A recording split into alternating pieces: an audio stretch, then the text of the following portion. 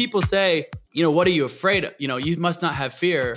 That's Colin O'Brady, professional endurance athlete, four time world record holder, and the first person to complete a solo, unassisted trip across Antarctica. I actually have all sorts of fears, but my biggest fear is really in not living, in not living the full totality of life's experience.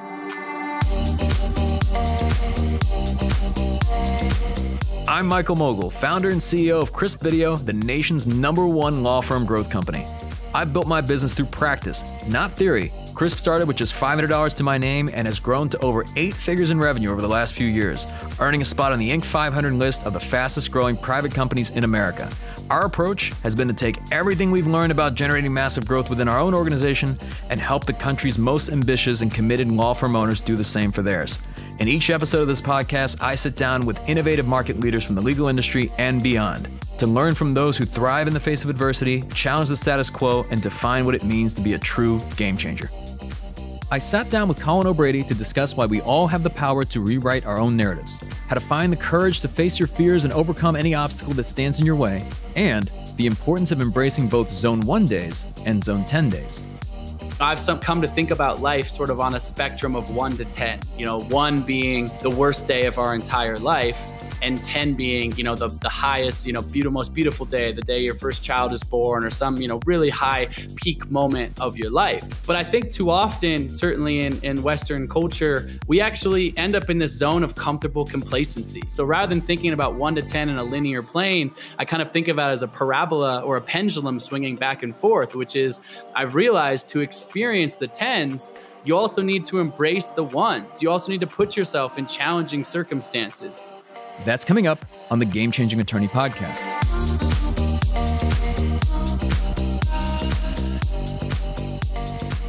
Colin O'Brady is one of the most ambitious people on the planet.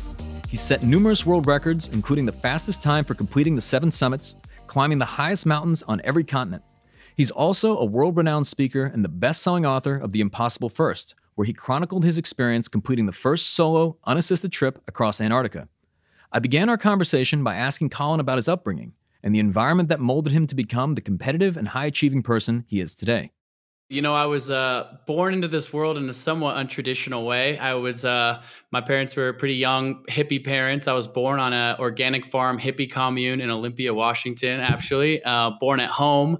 Uh, so my mother invited 30 of her closest friends over to watch me be born on a futon on a hippie commune while they're all sitting around uh, hang, hanging out. So uh, my mom played Bob Marley Redemption song on repeat throughout my birth. So I'd say I came into this world in a somewhat untraditional way. Um, I was born in Olympia Olympia, but moved to Portland, Oregon, and that's really where I grew up. My parents were involved in the the health food kind of early on the cutting edge of sort of health food, you know, natural food industry, and ultimately were entrepreneurs. Um, and they uh, started a chain of natural foods grocery stores in the Pacific Northwest. So I'd say uh, the hippie upbringing combined with watching my parents, you know, go from young people to successful entrepreneurs, is that was our kind of dinner table conversation around, you know, aspirational goal setting, dreams, uh, et cetera. Definitely a fundamental part of my upbringing. Now, I hear there was like a pivotal moment in your childhood. I think you were like seven years old. Um, you were watching the Olympics, and then you became obsessed with the Olympics. Yeah, that's right. You know, I uh, didn't have a lot of money when I was a kid, but I was watching the the Barcelona Olympics in '92. So yeah, I was seven years old then, and uh, a swimmer by the name of Pablo Morales uh, won the hundred butterfly gold medal. And for whatever reason, that moment's just so deeply imprinted in my mind. My mom says I was running around the living room, jumping around the couch, you know, and talking about the Olympics. And my mother, you know, huge, huge influence in my life, um, incredibly positive influence. Uh, like I said, like Spain was like a foreign place to me. I barely traveled outside the state of Oregon. Um, you know, we, we didn't have a lot of money when I was a kid, but my mom just looked at me and she goes, Do you want to make the Olympics one day? And I was like, Oh my God, yes. And she was like, You know, she got out the calendar and started being like, Okay, well, you're seven. Like, what's the average age of an Olympic swimmer? You know, what, what Olympics might that be? Is that 2012? Is that 2016? So it was just, it was just cool. Like, my mom was willing to allow me, you know, to dream as big as possible. Now that I've, you know, crossed Antarctica solo and climbed Everest a couple times and done these, you know, wild out there adventures, people often ask my mother, Oh my God, how does it feel like as a mother? You must be so afraid. And she always kind of jokes with a coy smile and says, you know, careful what you wish for when you tell your kids their whole life they can do anything they set their minds to. Because of course she's, you know, proud of me, but also, you know, she worries about me some of the things I do. Uh, so there's a fine balance. But she certainly instilled that confidence in me in a young age. Now I'm curious. I mean, obviously, Colin, you would go on to do these incredible things, incredible feats. But was there any point in your childhood? I mean, could you ever have imagined like what you would go on to do? Were there any kind of indicators, or did you feel that either you had greatness inside you, or did you even surprise yourself? Yeah, no, that's an interesting question. You know, I think that I always, you know, had a a degree of confidence, um, but certainly I wasn't sitting around as a kid dreaming of you know walking by myself for a thousand miles across Antarctica. Uh, that came later, um, but I think it's built on the built on the back of of different successes and certainly ups and downs. Uh, also also tragedy. You know, when I was 22 years old, just graduated from college. You know, again, still hadn't really seen much of the world at that point, and I was been painting houses as a kid, um, and I decided to go on a backpack trip uh, around the world, and it was an amazing experience. I had no money. I was hitchhiking hitchhiking around and sleeping in youth hostels and whatnot. And I found myself on a beach in rural Thailand and uh, in that moment, my life changed. You know, there was some guys jumping a flaming jump rope. I was 22 years old at the time, maybe not a fully formed prefrontal cortex. And I decided flaming jump roping looked like some fun, which which it was for an instant, uh, up until the rope wrapped around my legs, excess kerosene sprayed the length of my body and lit me on fire to my neck. Uh, and I had to jump in the ocean to extinguish the flames, which saved my life, but not before about 25% of my body uh, was severely burned. Um, you know, and as a young person, it was devastating but it was compounded by the fact that I was in the middle of nowhere. You know, I'm in Thailand. Um, I'm on a tiny little island. Instead of an ambulance ride, I had a moped ride down a dirt path to a one room nursing station. And I'll never forget the the eight surgeries I underwent there. I never forget the the cat running around and crossed my chest in this makeshift ICU. I mean, I was in a bad place.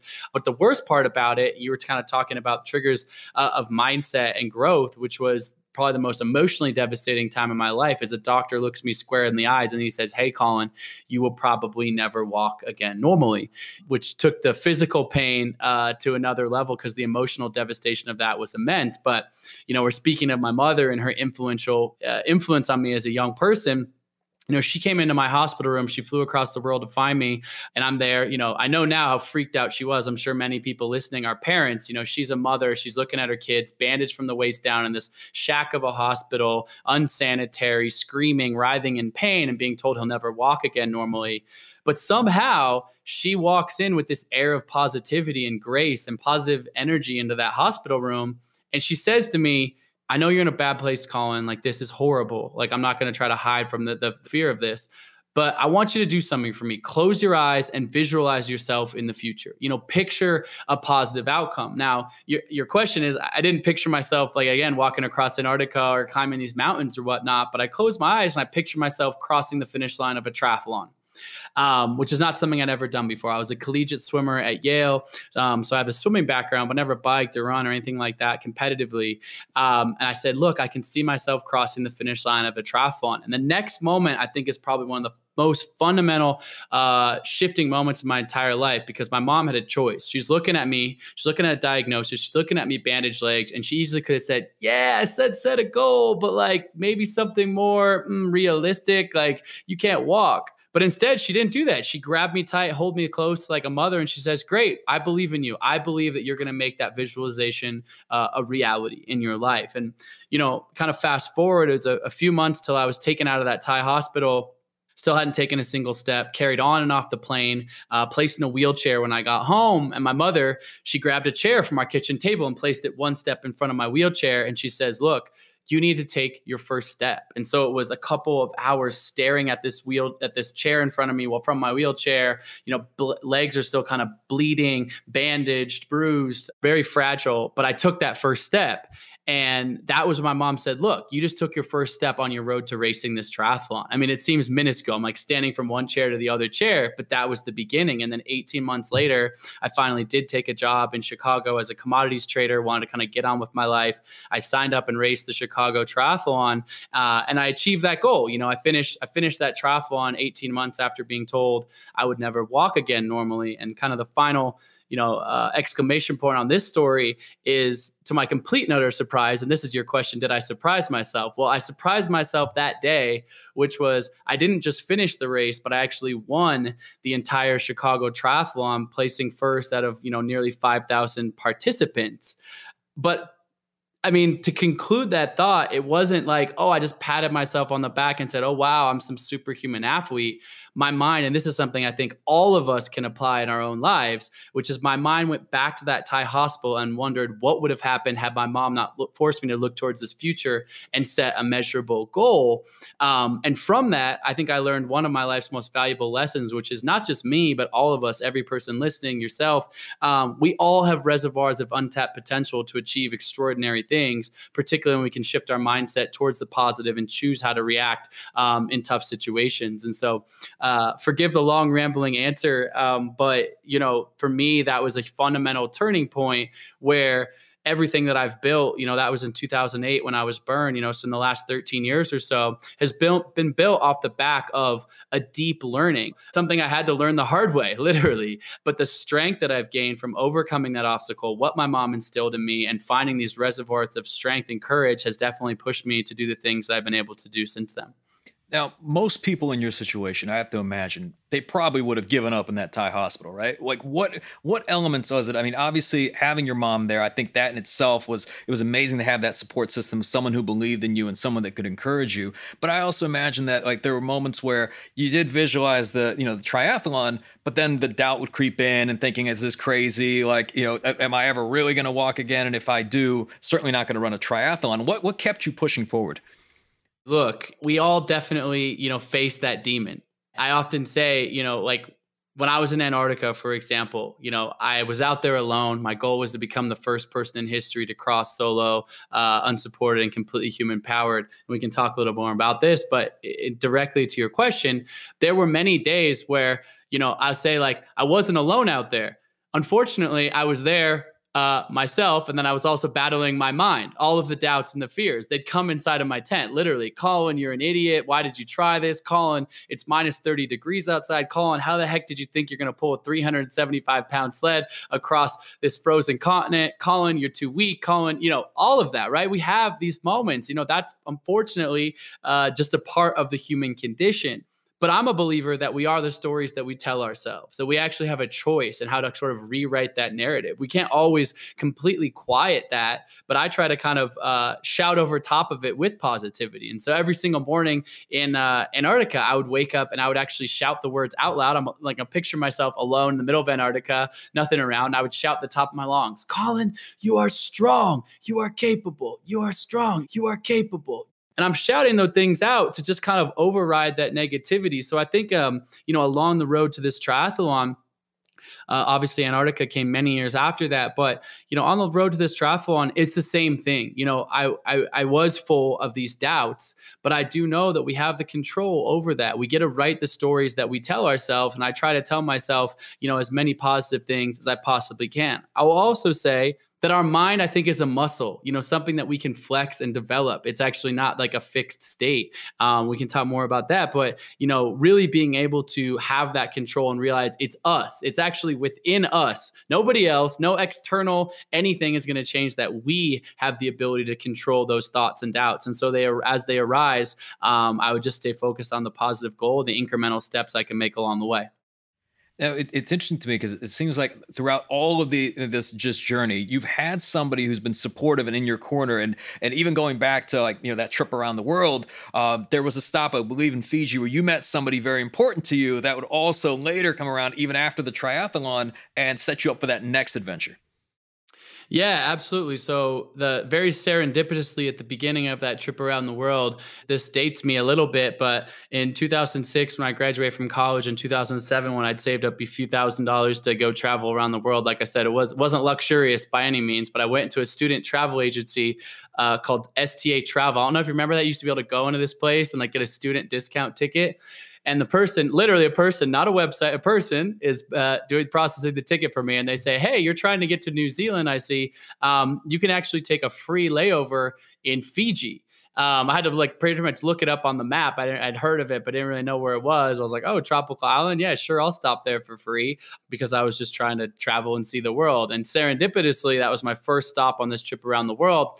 I found myself on this tiny little island, the sand atoll. You could walk around the circumference of it in about five minutes. But uh, I guess the, the universe had had something in store for me that day, which is I met my now wife, the, the beautiful Jenna Besaw. And, you know, she was a young college kid uh, on a study abroad program in Australia and I traveled to Fiji for a week. And I met her um, and we immediately, you know, had a deep connection. Although we only spent a couple of days together, it set us in motion of, of what now is a, a beautiful, long standing, you know, almost 15 year long relationship and a beautiful marriage. Um, and without a doubt, you know, I talked a lot about my mother, but Jenna, you know, really has been in my corner since that through through the burn accident in the last 10 years or so everything we've built you know we we've we've built and sold companies and had very successful exits. I've set 10 world records all of which have had you know big multi-million dollar documentaries around them or my new york times best-selling book or you know our, our nonprofit efforts with with kids and inspiring you know millions of school kids. Jenna has been foundationally involved with that. You know i can sometimes say you can only put one name on the cover of the book. It's the impossible first by colin o'brady but I,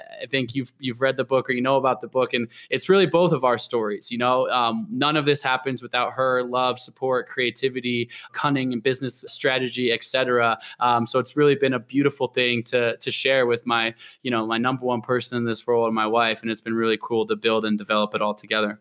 You got to think it takes a unique human being, right? To want to be uh, on this type of journey with you, right? It's funny. We had Tim Grover on the podcast, and he talked about the fact that he's like, it's not so much that opposites attract. The goal in life should really be to find somebody as effed up as you are, right? Because hmm. for the things that you are undergoing, right? And there's times where I imagine she could, she felt maybe she'd lose you, right? Like the, you're putting your your life on the line, and yet, like, what, you know, she turned into one of your greatest advocates. Yeah, absolutely. Um, that's awesome. You had Tim Grover on the podcast. Uh, I was just reading his book, Winning. Actually, him and I have the the same editor and the same publisher Scribner. I've never met Tim, but um, we we have work with a lot of the same people, and that book was really cool. But yeah, no, it definitely. I think it, I would agree. I'm smiling uh, for those who can't see me, but that it takes a, a certain certain person. Um, you know, my wife Jenna is extraordinary. Actually, early on in her life, before I met her, um, her kind of first love, her high school and early college boyfriend, he died suddenly in a motorcycle accident, and so she, you know, she's actually literally has lived through um, what it feels like to lose uh, a loved one, and um, you know obviously the, the worst thing in the world would be for that to happen to her again. Although, in a strange way, she says, you know, you want to call it universe, you want to call it God, you know, whatever your spiritual connection to the greater sense is, that doesn't matter. But she's kind of like, there's no way that the plan for my life was to have that happen twice. Uh, not that she thinks that I'm invisible by any means, um, but she has a, a belief in my sort of decision making, et cetera. You know, you know, on the first time I was climbing Mount Everest in 2016, I was actually up in a pretty bad storm, um, and I was afraid. You know, I was afraid to go up. You know, it's like I had been actually caught out in a storm a few days earlier. Um, people had died on the mountain uh, over the course of that expedition. Not anyone I knew, but we were aware of it. And then it was time for me to go to summit. It was my last chance to go for the summit, and this was part of a world record project called the Explorers Grand Slam, where I was trying to climb the seven summits as well as go to North and South Pole faster than anyone. It was my first big world record project, and we had invested years of our time and energy into getting to this point. I was needed Everest and Denali. And I call her on the satellite phone. I say to her, I'm afraid. I'm at 26,000 feet. That's called the death zone. That's the last camp before the summit of Everest. And it's my only shot now to go for the summit is to go for that night. And the weather forecast is literally saying, you know, it could be good, but it also could turn just like it had a few days earlier. And I got caught in a bad situation. And I was just afraid. I didn't know what to do. And so I've got this crackly sat phone connection. It's cutting in and out. We can barely hear each other. But I said, you know, I, I, need you to kind of help me, you know, in this situation. And if she had said, look, Colin, it's not worth it. Calm down. You've done a good job. I'm proud of you. I think I would have listened to her, you know, to be, if I'm perfectly honest. But that's not what she did. You know, her strength is unbelievable. Um, and, and she says to me, she goes, Colin, go inside of your body and listen you know, you have trained for this. You're ready. People are going to summit Mount Everest tonight. And I know that you can be one of them. You know, go. I believe in yourself. And that was what I needed to get out of my tent that day at 26,000 feet. And sure enough, that was the first time, you know, I summited Mount Everest. Now, on the flip side of that, just earlier this year, I was attempting to be the first uh, person to climb K2, the second tallest mountain in the world, uh, in winter. Something that had never been done before. And uh, ultimately, a, a, team of really uh, talented Nepalese climbers did claim that first ascent. Super proud of them, uh, friends of mine. But I was up there very similar circumstances. I'm at I'm at the final camp before the summit. It's minus 50 degrees outside. K2 um, has a really high death rate. So 25% of people that summit don't make it back down. And in winter, it had never been done before. Super extreme conditions too long of a story to tell, but I basically end up inside of my tent having to make a decision. And a bunch of my friends who I'm with are saying, We're going to go for it. We're going to go for it. We're going to persevere uh, and go for it. And, you know, my kind of whole identity, my brand, so to speak, is built on being the guy that does hard things that no one's done before to persevere. And a very, very similar situation. I pull up my satellite phone and I call home to Jenna and I say, hey, like, here's the situation. We're a little bit low on supplies. Some people forgot their tents. They're crammed inside of my tent, but, you know, the weather seems okay. You know, what do you think I should do? And if you want to rewind the script of the story I just tell you, this is the part where Jenna says, go inside your body and listen, Colin, you can do it. But in her intuitive knowing in this moment, she goes, I don't have a read on this. I want to help you, obviously. And I know you're in a very fragile state, but I don't have a read on this. I trust whatever decision you make. And so in this situation, although it looked very similar to the last time, she empowered me to make that decision for myself. And so in this moment, I closed my eyes you know, this was just February of this past year. So six months ago or so, I closed my eyes and kind of started to listen to that intuitive voice inside of me. I'm crammed in a fetal position in this tent on K2 in the middle of the night in winter, minus 50 degrees, chaos all around me. And I go into this intuitive voice, and my friends are saying, We're going for it. We're going for the summit. You know, we could make history, all these things. And I go inside, and the voice inside me that day says, Back off. It says, Actually, th- this is for whatever reason, there's something in the alchemy of this moment to not go forward.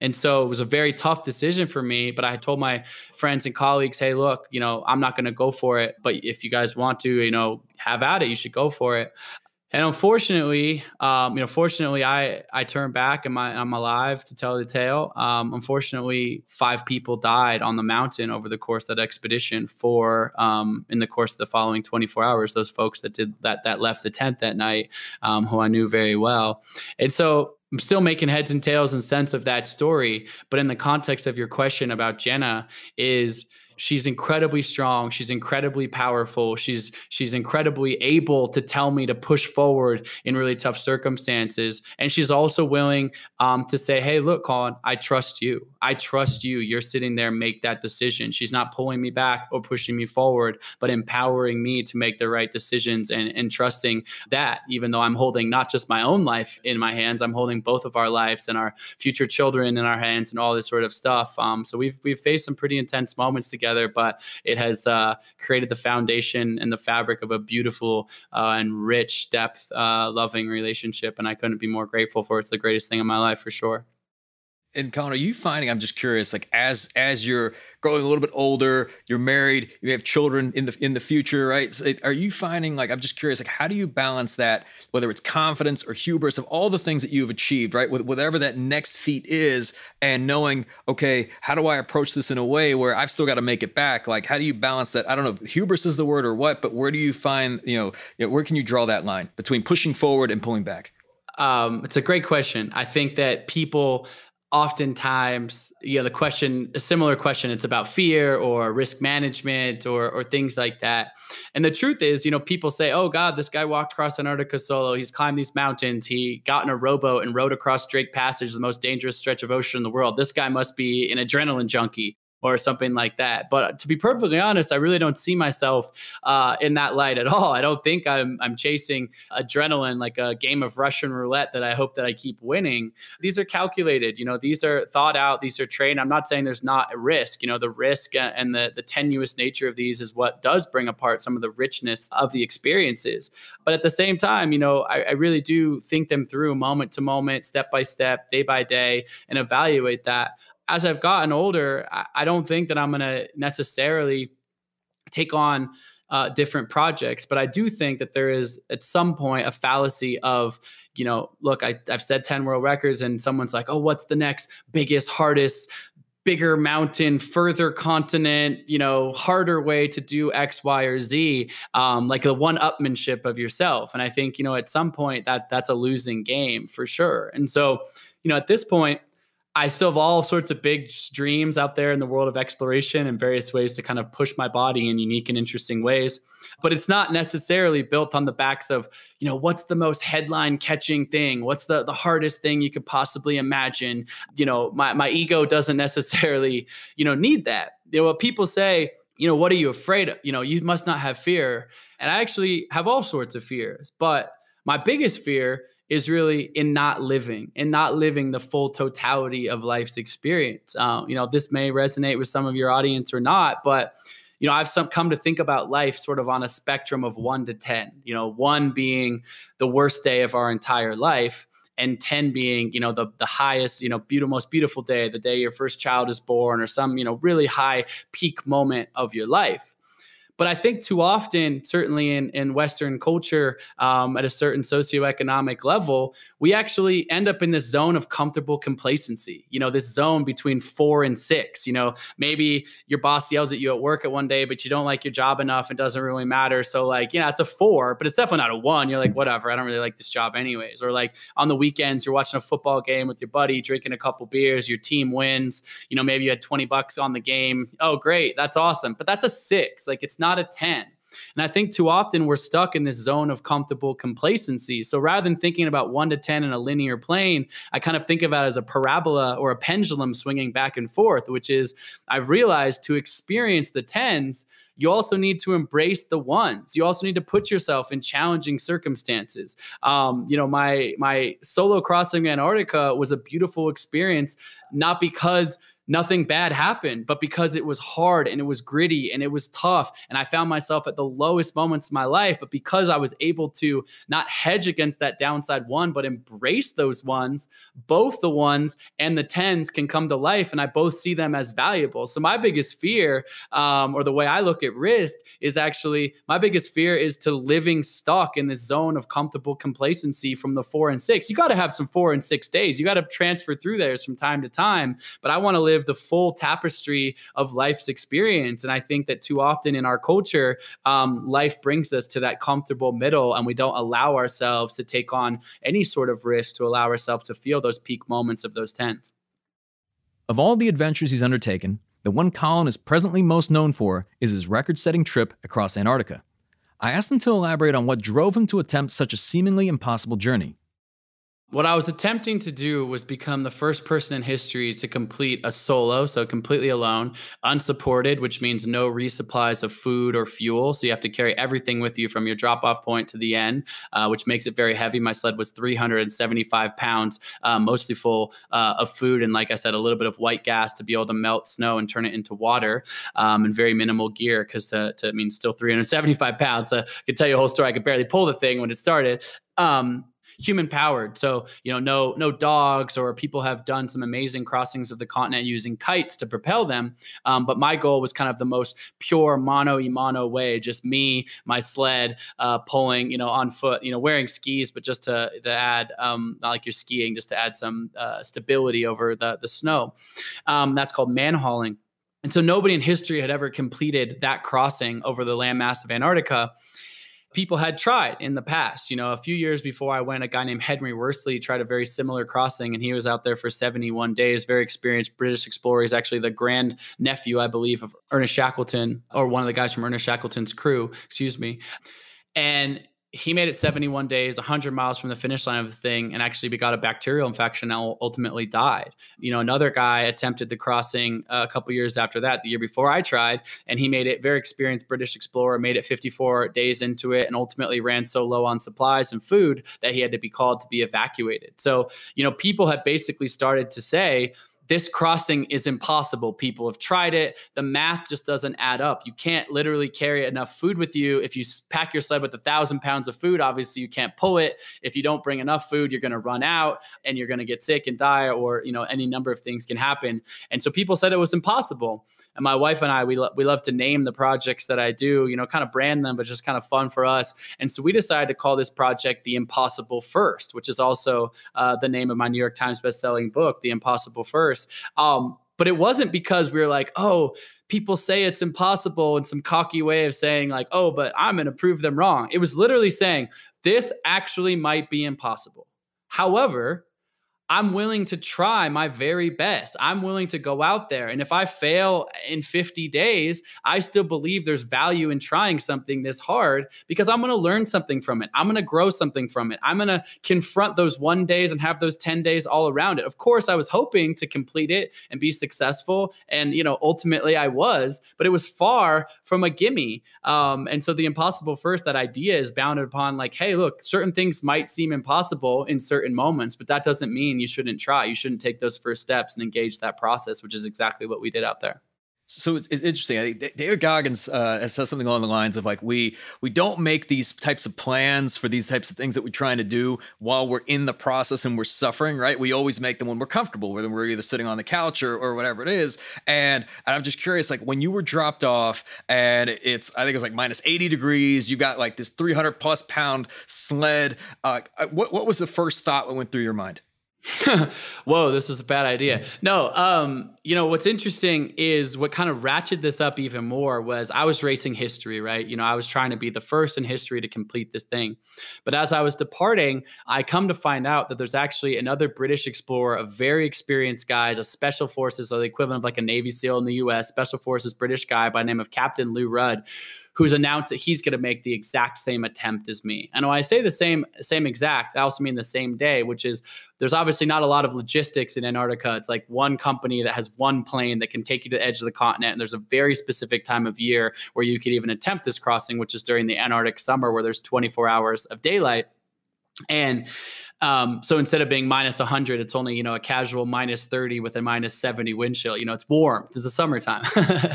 um, but, uh, you know, Captain Lou and I literally means we were stuffed in a cargo plane, shoulder to shoulder, looking at each other, no longer just racing history, but this becomes a head to head race, an actual battle, uh, mano y mano. But we, he's saying some things to me. He's like, it should be a Brit that cracks this journey first, you know, you know, kind of getting in my head. And I'll be honest, like I'm intimidated. I'm way less experienced than him. He's got the experience in Antarctica. He's this this badass military guy, and he clearly looks like he's got his shit together. And so we decide, hey, look, it's going to be too crazy if we get dropped off literally right next to each other. So the plane agrees to drop us one mile apart from each other, equidistant from the first waypoint.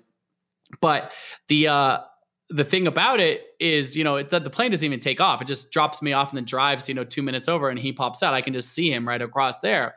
And so I pull out my, uh, you know, minus the minus, you know, 25, minus 30 degree temperatures immediately hit my face. I've got to completely cover up. I can't have any exposed skin or I'll, you know, I'll get frostbite or whatnot.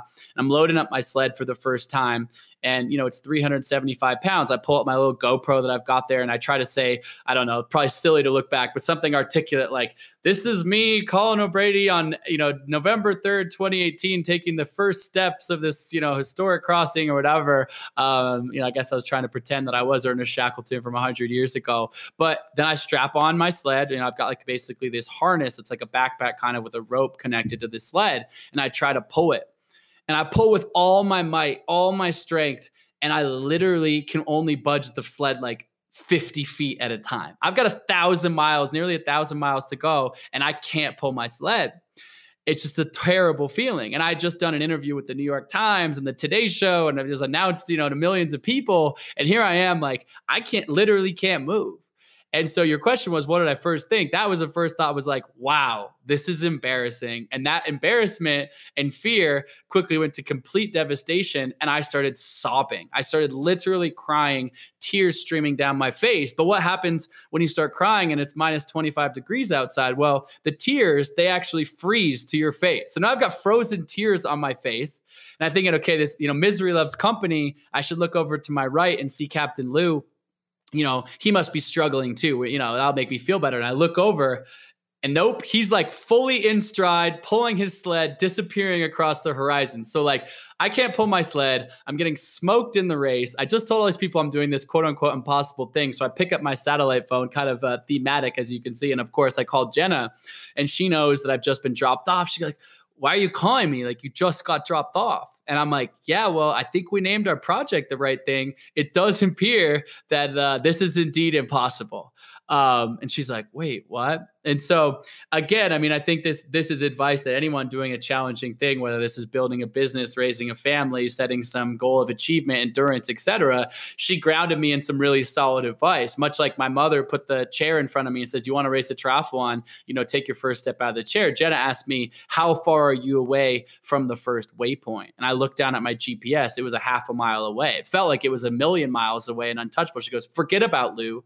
Forget about the nearly thousand miles of frozen icy." Tundra you have to cross to complete this thing. Just get to the first waypoint. You'll at least feel like you made some progress. And and and it, it wasn't pretty. I mean, it took me a very long time, you know, 100 feet at a time, 200 feet at a time, dragging this 375 pound sled to set up my tent on that very first day but I made that I made that progress. You know, I got to that first waypoint and I mentioned it earlier, but that was really that point where those demons, those, those negative thoughts were just full in my tent, you know, thick in my tent. I could feel that negativity in my own thoughts. You're an idiot. Why'd you try? This is never going to work. Lou's already kicking your ass. You know, this is embarrassing. Oh my God, you're going to have to go home and face the press, whatever. And that's when I started shouting at the top of my lungs, "You are strong, you are capable." And it, it, wasn't look, it wasn't wasn't pretty from there. And I and I write about this moment in depth in my book, The Impossible First. But basically it was having to let go of the end goal and focus on the present. Focus on those incremental steps you know? It's not like the next day all of a sudden i had some magic level of energy. It's like only full day the second day i only moved a few miles and a few miles more but each day i ate a little bit of food my sled got a little bit lighter i found my bearing so to speak. And as you know i ultimately i did pass lou and i did complete this crossing becoming the first person in history to do it. But it was built on the back of severe doubt right out of the gate, wanting to quit, thinking this was the worst idea, and literal frozen tears on my face to make me feel as pathetic as one could possibly feel in this circumstance. Though Colin struggled throughout his journey across Antarctica, it wasn't for a lack of preparation. I asked him to discuss how he trained for this journey. This was very well thought out. I spent a year in a sports science lab and I created this custom nutrition um, that ultimately we called them the Colin bars, and we're going to come out with a more of a retail product of that uh, next year. But yeah, the nutrition was like as dialed as it could be, hundreds, you know, thousands of data points on my blood and my body. And this, I'd weighed every single piece of gear. My coach, you mentioned David Goggins uh, before. My coach is a guy named Mike McCastle who actually smashed David Goggins' pull-up record. Mike McCastle, my coach, he actually did five thousand 4,806 pull ups uh, wearing a 30 pound weight vest. I think Goggins did like 4,030 or something like that. Um, so the dude I'm training with is like, you know, one of the most badass dudes uh, on the planet. And he's simulating all sorts of stuff for me. We obviously couldn't go to Antarctica to train. So he's like trying to simulate as best as we can, having me pull heavy stuff, um, doing stuff with my mind where he'd have, you know, my hands would be in frozen ice buckets, doing a plank. He'd have me hold that till I was out of breath and he'd have me hop out of it, you know, do a bunch of squats to really jack my heart rate up up and then put my feet in ice buckets. And then all of a sudden he would hand me like a Lego puzzle and he'd be like, you can take your feet out of those ice buckets when you solve this Lego puzzle. And it's like, I'm like, what, what the heck is this, man? He's like, look, your hands are frozen. The dexterity and your mental acuity, you're going to need to have that sharp. At the end of a day, pulling your sled for 12 hours, your hands are going to be frozen. Your mind's going to be foggy, but you tying the ropes on your tents or setting up your tent or getting inside or these things, like those are the difference between life and death. And so we did a year plus of preparation, simulation. I crossed Greenland in preparation, a 30 day crossing of the Greenland ice cap uh, in preparation of this. It's not if I just didn't just show up out there. But even despite all of that, sometimes when things are this far out on the edge um, of possible, there's no way to simulate it other than to get out there and problem solve every step of the way, which is what ultimately what I had to do. And, I'm curious, what when you're out there, it, what what are you thinking about? Because in a way, like you're you're alone with your thoughts, right? What's going through your mind on on in these days, consecutively, day after day? Yeah, so ultimately I was out there for 54 days completely alone. Antarctica is 24 hours of daylight this time of year, which I mentioned, um, which means it's just white in every single direction. I talk about it as sort of standing inside the belly of a ping pong ball, uh, very disorienting. The sun doesn't move at all, so there's no movement of shadows, basically very small movement of the shadows. Um, and I've got a compass strapped to my chest. So the only way I can tell where I'm going is to basically stare at a compass bearing. I mean, it's like if you closed your eyes and walk down a, a dark hallway, you know, you're going to smash into the wall pretty quickly humans are not patterned to be able to uh, walk in a straight line without visual cues at all. Um, so that's what it was like 12 hours a day pulling my sled out there. Um, but I actually intentionally I said one of the, the, the scariest things people always say, how could you possibly be alone for that long, alone with your thoughts? And the initial thing is, oh, you must be bringing a bunch of music with you. You must be trying to distract yourself or whatever. And I actually said to myself, you know, that would be a knee jerk response, but I'm going to try to not avoid that, not try to resist that. I'm actually going to try to embrace that. And so, what I did is I actually deleted almost all the content from my phone. I left five of my favorite uh, albums just in case I really needed to hear something. But I spent 98% of the time in complete solitude and in complete silence. And look, that was one of the hardest things that I've ever done. But after the fourth or fifth day, I found these deep flow states in my brain. You know, I, I, went into these deep and beautiful places. Oftentimes, I would think about memories from childhood, but instead of like, you know, oh, hey, do you remember your high school graduation? And something comes across your face right now, but then we're going to keep talking or forget about it. Like something like that would pop up in my mind, and I'd live it like in a vivid dream for for 30 minutes or an hour or two hours, like a playing back a movie in visceral detail. I could I could smell the breeze, I could see the fabric of my shirt. I you know, and I went back through my entire life in these rich, um, deep ways because of the sort of the, the silence and stillness in my brain. And one of the things that taught me is that it's all in there, man. Stuff you've thought you've forgotten, like it, it, it might be buried deep, but if you ever have the stillness and the silence, um, which very few people take the time for, you know, it's all in there. And also just you know, I mentioned flow just a second ago, but to expand on that, you know, I found these places inside of my body that were, you know, deeply powerful. You know, the end of this journey, I was within, uh, I woke up on Christmas morning, 2018, and I was 77 miles away from the finish line. Um, and one thing that was was wild was I I woke up that morning and I was basically out of food. My ribs were sticking out. My hip bones were sticking out. I was completely wrecked physically. I could actually barely pick up my duffel and you know pack it into my sled that morning. And I remember thinking, "Oh man, I'm in bad shape. Such bad shape that actually my wristwatch started sliding down my wrist because I had, I got I didn't even realize you could like lose weight in your wrists. But like I mean, I was compromised. I was running a more than 3,000 calorie deficit every day, and it was 50 some days in. And I start walking that day and I think, okay, 77 miles. I'm going like 15 or 20 per day. Maybe it's three big days. I could finally finish this thing, but I'm, i was on, I only had a couple days of food left. And then all of a sudden, I clipped into one of the deepest flow states of this entire process, and I start going, and I go inside my body, and I start, I start going like, okay, 77 miles. Well, how many hours is that pulling my sled? And I think maybe it's like 40. And then I just make this moment to myself. So I go, look, I am going to keep walking until I finish this thing. I am not going to stop. And I found, although my body was so weak, I found this place in my mind of absolute focus, of absolute confidence, of absolute strength. And also the passage of time was somewhat distorted. And I ended up making this final push 33 hours nonstop, 77 miles, reaching the finish line without stopping.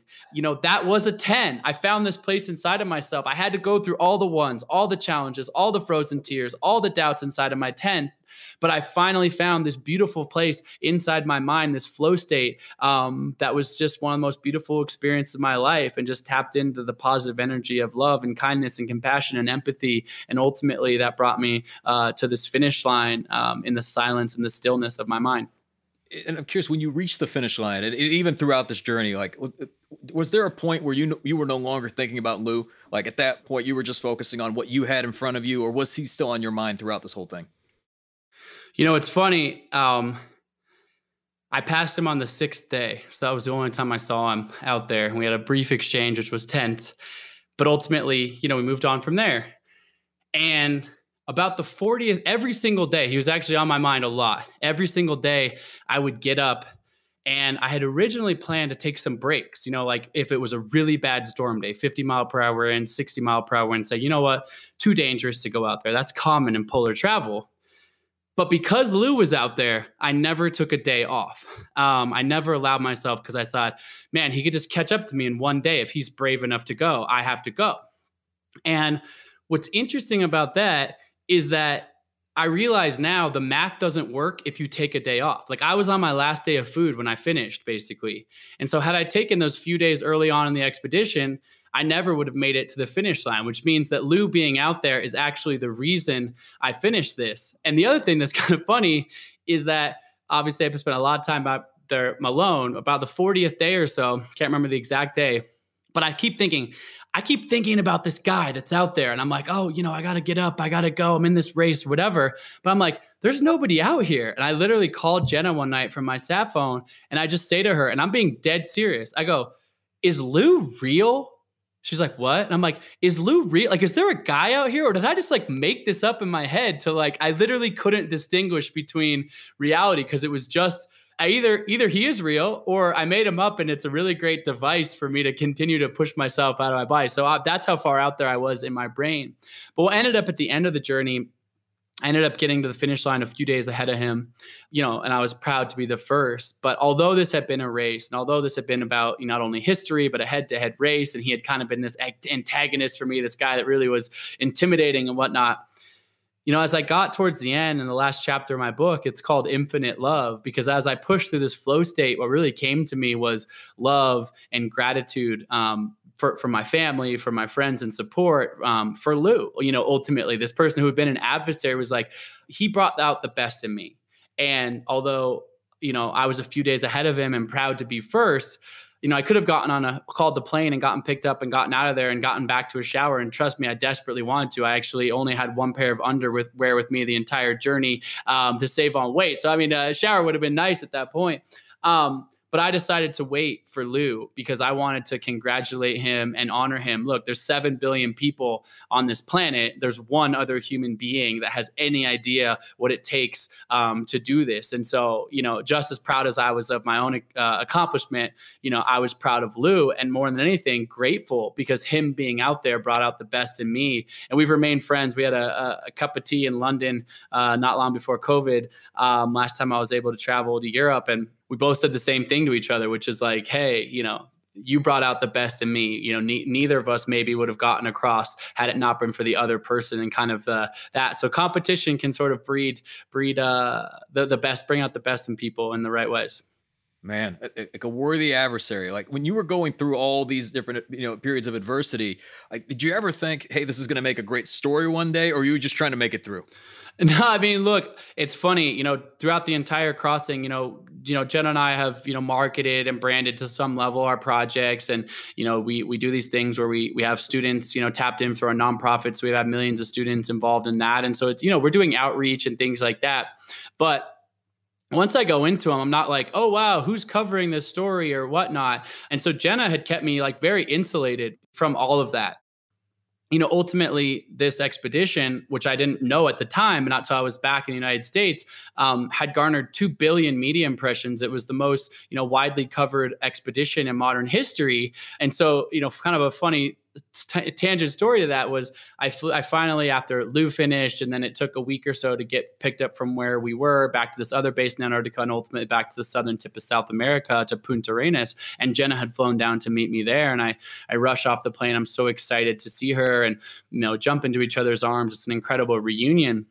And one of the first things I said to her was like, I'm so excited. We get to go home tomorrow, sleep in our own bed. She'd actually got a puppy um, when we were out there. I can't wait to meet our new puppy, you know, all these things. And she was like, Yeah, about that. And I was like, What? And she was like, we're not flying to Portland tomorrow. We're flying to New York City and you're going live on the Today Show like tomorrow morning. Um, which again, like humbled, honored, grateful for, you know, all the interest, all the exposure. It, has been a beautiful and humbling thing. But I've been alone in Antarctica for two months, not talking to anyone, is completely insulated from this. She's like, You're flying to Manhattan, you're gonna be on live television tomorrow. I was like, wait, what? You know, it was a total mind warp, uh, so to speak. But um, but yeah, you know, look, I think that I love storytelling, you know, and I think that every single person has a beautiful story to tell. And I think as humans, um, we gain inspiration from other people's stories. And, you know, I love sharing my story for that reason, but I love consuming. I love listening to stories. I love listening to other podcasts, movies, books.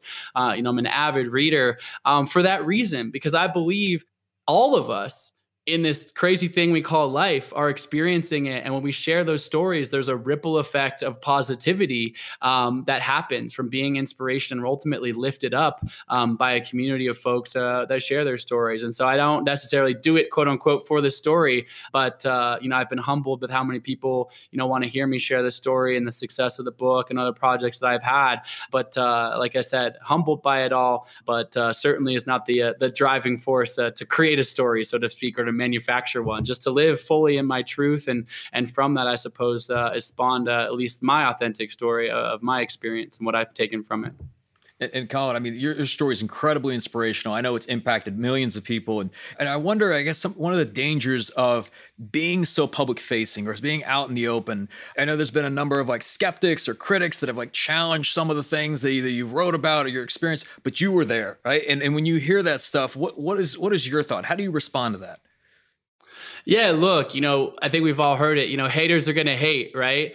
Nobody was criticizing uh, me, you know, when I was out, you know, sort of just doing my thing. Um, and I think that that's, you know, unfortunately a byproduct of the world that we live in. You know, I think you could be the most positive person on social media or Instagram, but as you know, like there's somebody having a bad day just wants to like lash out at a stranger on the internet. You know, it's disappointing. You know, it's sad when that happens. But at the same time, you know, if you actually have something to say, it might you might rub one person the wrong way, but that doesn't mean it's not worthy of you of you saying it. And so for me, um, you know, I try to rise above that. I don't think it's super worthwhile to to get into the back and forth, you know, of he said, she said, or this. You know, I can only live in my authentic truth, continue to put positivity and love and, and kindness, you know, out in the world, shine light on other people's successes. You know, one of the things that that, if at anything, what that has taught me 99% of people that have reported on me and talked about me have been vastly positive and fact check and whatever. But you know there's been the the one art article here or there that wants to you know say something negative or pick it apart.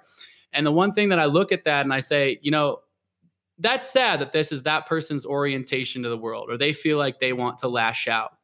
But what it actually reinforces for me is as humans we sometimes have a hard time celebrating other people's successes um, you know, it, it's it's a weird thing, but it's it's a very human thing if you kind of look around. I think if we're all honest with ourselves, there's been a friend or a colleague or someone that got a promotion before I did or whatever, and like you're kind of like, oh, that should have been my promotion, or I should be on this TV show and not that, you know, whatever that is, you know, in your own life. The criticism I would say in my life has just been fuel and re anchored me towards positivity. It's been a reaffirming thing to say, hey, be proud of your successes, but be the first person to congratulate and uplift other people's successes. Because it's a weird thing. Someone sells a company, makes a bunch of money. All of a sudden, instead of being like, dude, you did that. That's incredible. I'm so proud of you. Like, amazing. People are like, you know, kind of got their hand out. They're like, oh, that should have been me or whatever. And so for me, um, if nothing else, like I said, it's been fuel to just kind of you know sit with myself if i ever feel those emotions and be like no this is amazing. Celebrate people's successes. Lift people up. As as this human race you know we're in such a divisive time in this world. You know i try to set all that side stuff away and say you know how can we find common ground? How can we love each other? How can we uplift? Um, and that's my orientation to it. And if people are having a bad day and they want to lash out you know i don't have i don't have to take that negativity onto me. I can just reflect that back as positivity and love. Even the loudest critics in the world all i do is shine love back back at them. Man, I, I, love it. And, and I would say, as, as somebody who's actually out there in the arena showing what's possible, overcoming these obstacles, I mean, it's inspiring to others. I just will say that, you know, although a society seems to love that fall from grace, um, to keep persevering, keep pushing through, it's probably inspiring a lot more people than it's uh, than it's ultimately inspiring envy from. So, so Colin, as we come to a close, this being the Game Changing Attorney podcast, what does being a game changer mean to you? What does being game changer mean to me? You know, I think for all of us, we have our own truths that we can live in. I just shared a bunch of stories about, you know, frozen continents and mountaintops and things like that. And look, like that that's what I'm passionate about. But I love to ask this question back, which is anyone listening, which is what's your Everest? What's your Everest? I actually, as a little kid, wanted to climb Mount Everest, and I've been fortunate enough to be up there twice. I recently didn't get to share this story on this podcast, but went up there and summited Mount Everest with my wife. Wasn't a world record, but we got up standing on the summit of the world together a couple months ago. I just posted a video of it recently on my Instagram. And to me, I'll cherish that moment forever, um, probably more so than any of the world records, because to share that moment with the person I love. But to get back to your question, what's your Everest? You know, that could be entrepreneurship. And in this, you know, audience, obviously that's the legal profession. That could be family, um, relationships, art, creativity, podcasting, you know, music. It doesn't really matter. What is your Everest? But being a game changer is answering that question for yourself, actually having the strength to ask yourself, what is my Everest? What is the biggest goal that feels kind of far out of reach that I'm afraid to even kind of talk into or take the first steps towards? A game changer not only asks that question, what's your Everest, but answers it and shows up every single day to take one step closer to that summit. I want to give a huge thank you to Colin O'Brady for taking the time to speak with us today. You know, what particularly resonated for me was when Colin said that we all have reservoirs of untapped potential to achieve extraordinary things particularly when we can shift our mindset towards the positive and choose how we respond in tough situations. You've been listening to the Game Changing Attorney podcast with me, Michael Mogill. If you enjoyed this episode, I'd really appreciate it if you could share the podcast with at least one other ambitious law firm owner who you believe would benefit, and you know what? Maybe more than one. For more information on our interview with Colin O'Brady, see the show notes for this episode in your podcast app or visit GameChangingAttorney.com. And join us next time, and we'll be speaking with Professor of Neurosurgery, founder and director of the Center for Compassion and Altruism Research and Education at Stanford University School of Medicine, and the best selling author of Into the Magic Shop, Dr. James Doty. You know, many people think the world is a cruel, horrible place, but it's not. In most situations, people want to be kind, they want to be caring, they want to be helpful, but you have to create the environment to allow for that to happen. That's next time on the Game Changing Attorney Podcast.